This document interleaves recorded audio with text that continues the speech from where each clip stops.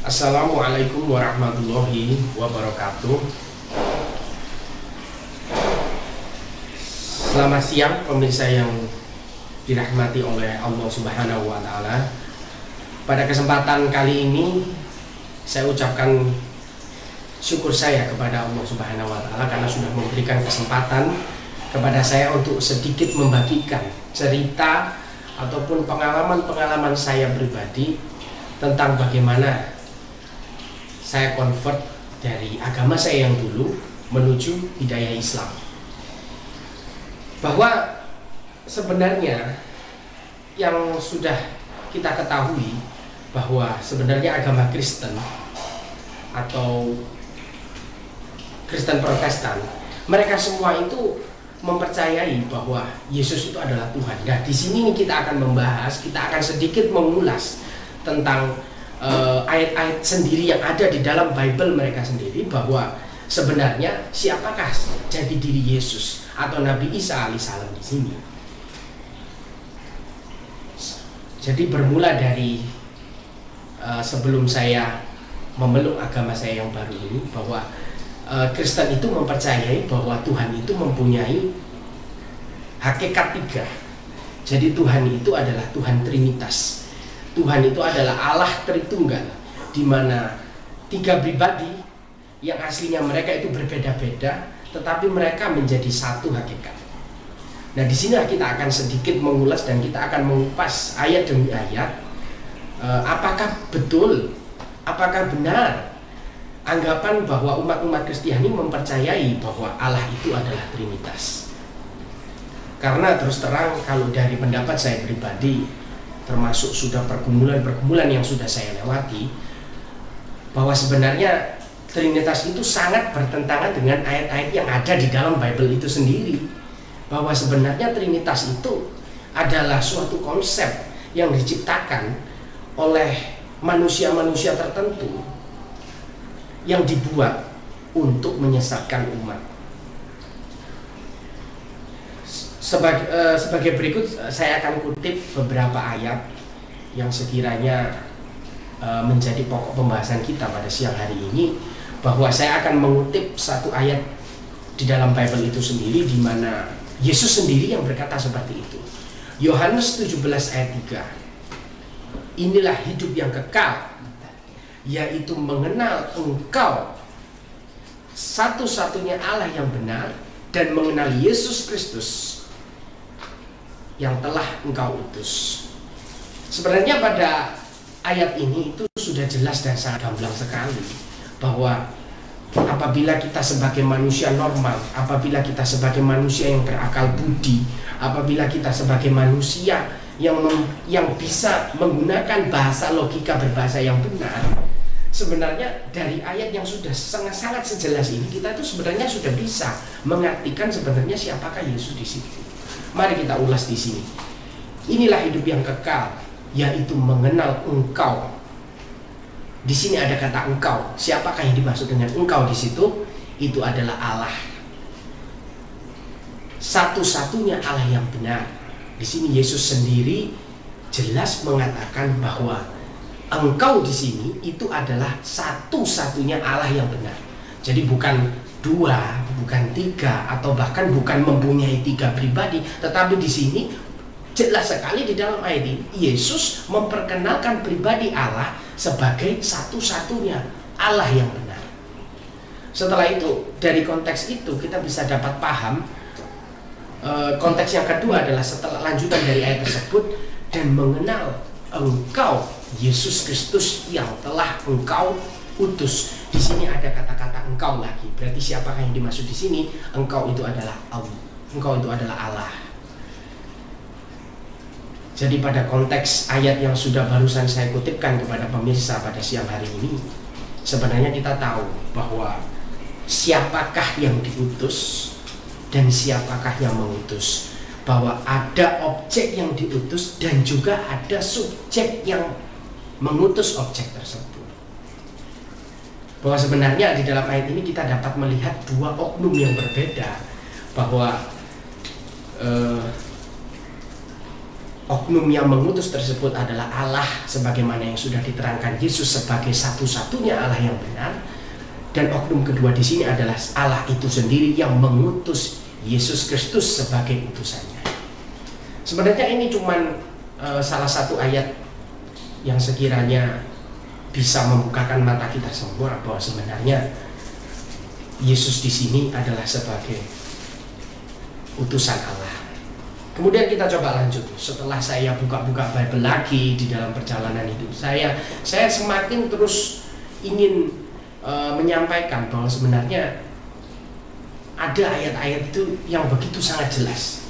Sebagai contoh, sebagai ayat kedua yang akan saya kutip di sini adalah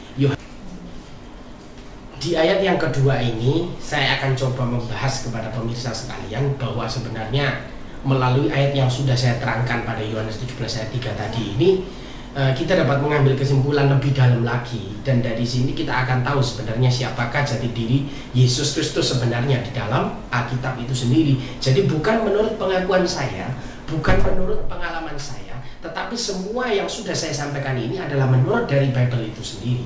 Bahwa pada ayat yang kedua, saya akan kutip dari Yohanes 12 ayat ke-49, demikian bunyinya. Sebab aku berkata-kata bukan pada diriku sendiri, tetapi Bapa yang mengutus aku, dialah yang memerintahkan aku untuk mengatakan apa yang harus aku katakan dan aku sampaikan. Kita akan kaji lagi bahwa sebenarnya di dalam ayat ini itu kita akan lebih mengerti lebih dalam lagi. Bahwa sebab aku berkata-kata aku di sini itu merujuk pada Yesus berkata-kata bukan dari diriku sendiri berarti di sini sudah jelas bahwa Yesus itu berkata-kata bukan dari dirinya sendiri nah siapakah dia ayat selanjutnya menjawab tetapi Bapa yang mengutus aku dialah yang memerintahkan aku. Ini sudah jelas, berarti ada yang mengutus lagi dan ada yang diutus. Berarti Bapak memerintahkan dan Bapak mengutus Yesus supaya Yesus dapat menyampaikan firman-Nya kepada umat-umat manusia. Nah, uh, ayat selanjut uh, di dalam selanjutnya dialah yang memerintahkan aku dan mengatakan apa yang harus aku katakan dan aku sampaikan. Nah, jadi cobalah kita tengok-tengok untuk menggunakan uh, logika berbahasa yang benar. Otomatis kita ini harus bisa ayat sejelas ini kita ini harusnya tahu bahwa sebenarnya Yesus terang-terangan itu mengakui dan berkata-kata bukan dari dirinya. Tentu kalau bukan dari dirinya Yesus, mestinya dari yang lain dong. Mestinya bukan Yesus itu sendiri dong. Terus siapa? Siapa yang dimaksud oknum ini? Siapakah oknum ini? Bahwa yang dimaksud yang dimaksud oleh Yesus Kristus yang dimaksud oleh Nabi Isa alaihissalam oknum di sini adalah Allah atau yang biasa yang disebut Allah Bapa pada dunia kekristenan simak baik-baik bahwa sebenarnya Yesus ada Yesus ada pula Bapa pada ayat tersebut adalah Yesus. Ada dua oknum di sini. Lagi-lagi dua oknum. Pada Yohanes 17 ayat 3 kita ketahui bahwa ada dua oknum yang dimaksud di sini. Pada Yohanes 12 ayat 49 kita juga tahu bahwa sebenarnya ada dua oknum yaitu Yesus dan Bapa itu sendiri. Nah, kesimpulannya ada yang diperintah dan juga ada yang memerintah. Jadi, Yesus bukan Bapa atau Allah dan Bapa juga bukan Yesus atau Allah dan ini semua menggagalkan formula trinitas atau konsep ketuhanan yang dibuat oleh pihak-pihak tertentu. Yesus mengakui diutus oleh Bapa dan Bapa itu sendiri mengutus Yesus sehingga Yesus yang diutus oleh Bapa tidak sama dengan Bapa yang mengutus Yesus. Sekarang kita lanjutkan pada ayat berikutnya, di mana uh, hampir uh, hanya bersebelahan dengan ayat tersebut, yaitu kita coba ulas di ayat yang ke-50. Ayat yang ke-50 berkata bahwa dan aku tahu bahwa perintahnya itu adalah hidup yang kekal. Jadi apa yang aku katakan di sini aku menyampaikannya sebagaimana yang difirmankan oleh Bapakku. Di sini juga sangat jelas sekali pemirsa bahwa sebenarnya Yesus itu mengatakan hal tersebut itu berkata tentang perintahnya dan dia tidak berkata bukan perintah saya, tetapi dia berkata perkataannya atau perintahnya. Nya di sini siapa? Jelas Tuhan pencipta langit dan bumi. Nya di sini siapa? Jelas Allah yang menciptakan Yesus, Allah yang mengutus Yesus, Bapa yang mengutus Yesus. Siapa yang dimaksud itu? Tentu bukan Yesus sendiri, bukan? Bukankah e, tentu oknum lain yang dimaksud ini bukan Yesus sendiri tetapi adalah oknum lain yaitu Allah yaitu Tuhan pencipta langit dan bumi ini sama dengan ada yang diperintah dan ada yang memerintah. Jadi konsepnya sama. Ada yang diutus ada yang mengutus ada juga yang memerintah ada yang diperintah. Otomatis kita bisa tarik kesimpulan di sini orang yang memerintah dan yang diperintah itu jelas berbeda. Jelas dua oknum yang berbeda. Marilah kita kita gunakan logika berbahasa yang benar di sini. Bahwa sebenarnya ayat yang sudah jelas itu pasti akan bermakna juga dengan jelas sekali. Kita tidak perlu uh, mengartikan ayat-ayat yang sudah jelas dengan pengertian kita sendiri. Melainkan ayat itu sudah sangat jelas sekali. Dan di sini aku menyampaikannya sebagaimana yang difirmankan oleh Bapakku. Juga sudah jelas, aku menyampaikannya sebagaimana yang difirmankan oleh Bapakku. Jadi Bapak berfirman kepada Yesus dan Yesus sebagai pembawa firman. Pemirsa, di ulasan saya yang ketiga ini saya akan semakin membahas tentang ketuhanan Yesus yang sudah disalah persepsikan oleh umat Kristen pada zaman sekarang. Uh, di ulasan saya yang ketiga ini saya akan berusaha uh, mengutip satu ayat yang sebenarnya berhubungan dengan ayat-ayat sebelumnya yaitu Yohanes 12 ayat 49 dan Yohanes 17 ayat 3 kita akan kutip dari kitab lainnya. Kita akan kutip dari Lukas 22 ayat yang ke-44 berbunyi demikian. Ia sangat ketakutan dan makin bersungguh-sungguh berdoa. Peluhnya menjadi seperti titik-titik darah yang bertetesan ke tanah. Coba lihat kalimat ini. Siapakah yang merasa ketakutan? Siapakah yang peluhnya menjadi titik-titik darah dan bertetesan karena saking takutnya? Pertanyaan kedua, pada siapa ia ketakutan?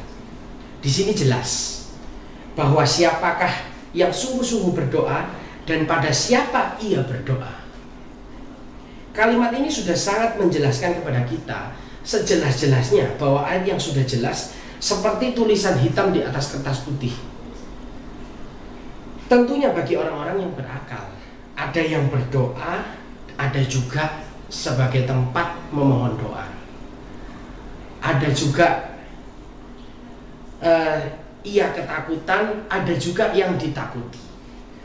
Jadi sebenarnya yang ingin saya sampaikan ke pemirsa di sini adalah kita harus menggunakan logika berbahasa yang benar apabila kita ingin memahami ayat-ayat yang sudah ada di Bible tersebut. Jadi ayat yang sudah jelas tidak perlu kita artikan lagi ke pengertian yang seharusnya bukan arti dari ayat Bible itu sendiri.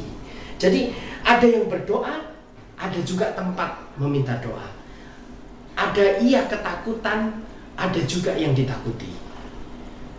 Ada di mana ia uh, poin berikutnya adalah pada saat dalam ayat tersebut diterangkan bahwa Yesus itu ketakutan, maka pertanyaan yang ada dalam hati saya adalah kepada siapa Yesus takut pada saat itu? Sebagai seorang manusia pada saat itu dia takut kepada siapa? Ataukah kepada pasukan Romawi? Mengapa Tuhan harus takut kepada manusia ciptaannya sendiri? Ataukah Yesus itu takut pada dirinya sendiri? Jawabannya adalah Yesus pasti takut kepada Allah Bapa yang di surga. Yesus berdoa kepada Allah Bapa yang di surga. Dan Yesus sendiri yang mengatakan bahwa demikianlah saudara-saudara sudah saya sampaikan sedikit pengetahuan mengenai ayat-ayat yang bertentangan dengan konsep Trinitas itu sendiri, di mana ayat-ayat yang sudah sangat jelas dan itu dikatakan oleh Yesus sendiri bahwa sebenarnya dirinya. Hanyalah utusan Allah, sebenarnya dirinya bukanlah Allah, sebenarnya dirinya. Bukanlah Tuhan, melainkan hanyalah hamba Allah.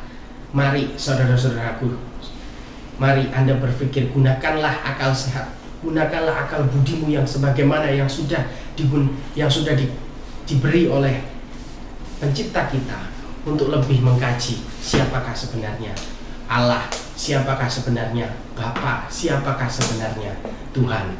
Wassalamualaikum warahmatullahi wabarakatuh.